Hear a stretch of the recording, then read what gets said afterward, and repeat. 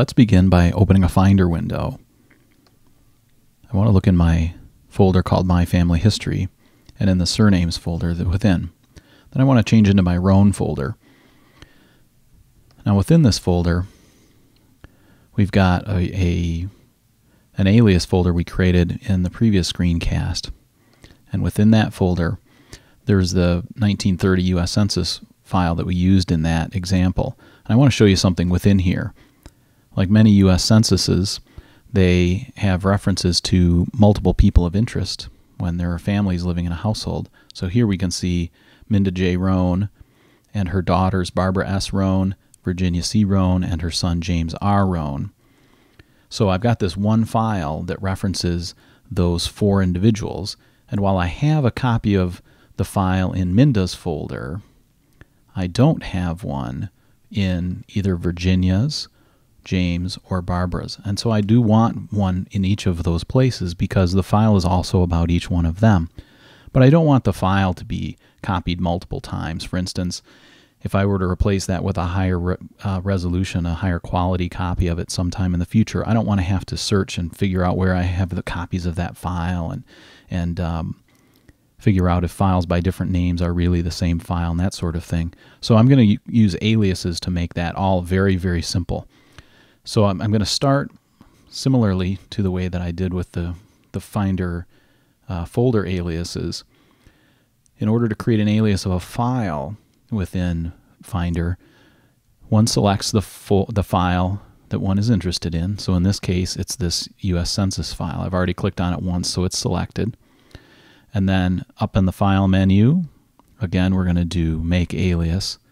Now in this one, since I'm going to be making multiple aliases for the same file, I'm going to use this Command key, Command L, um, for all but the first one. So first I'm going to click Make Alias.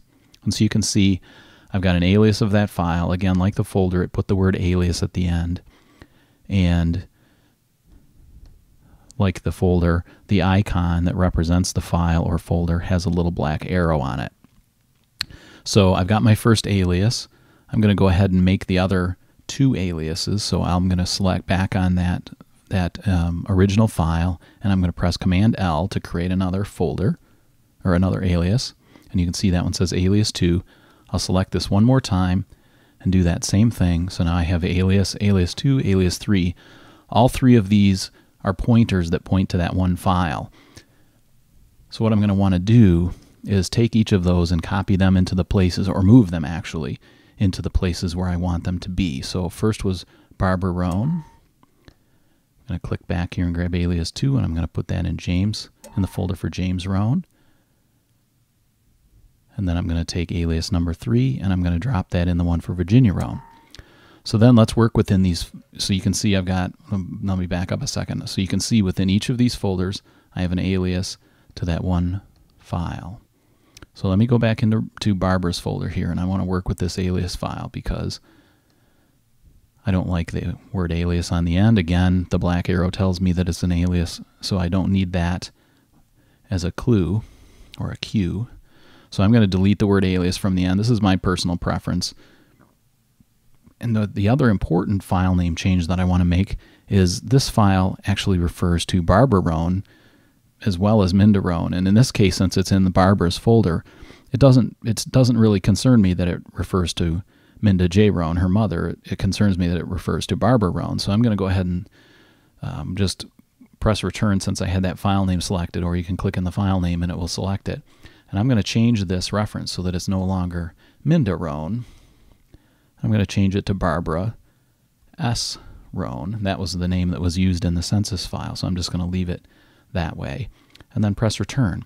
So now I've changed the name of this alias, but it still points to that same file that in Minda J. Roan's folder has a different name on it. So that's one of the really handy things about this. So now I can change the name of this folder. I can find files about Barbara Roan, but they're actually the same file as the file that has Minda Roan. And actually, it's the same file that we're going to now adjust for James and Virginia. So I'm going to do the same thing again. I'm going to, oops, didn't mean to open that. I'm going to go into this directory so that I can change this file name. Let me drag this out so we can see what we're doing. I'm going to select this And I'm going to remove the alias from the end, and then I'm going to go to the beginning and I'm going to change this to James. James R for James Reuben Roan. I'm going to press return. That one's done.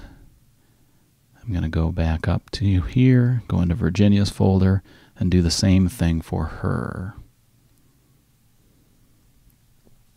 Remove the alias keyword, go back to the beginning of the name, and change this to Virginia C. Again, I, I use the same name that was in the file um, that I'm working with so that um, it's obvious to me when I look at it from the file name what name was used in the document or in the file that the, that the document contains. So now we've got that one file, the original here, and then an alias to it in each of these three directories, and any one of these will open up that same census file that we started with. So in this case, I, I uh, clicked on the one for Barbara, and you can see it's that same file, and here's Barbara S in there.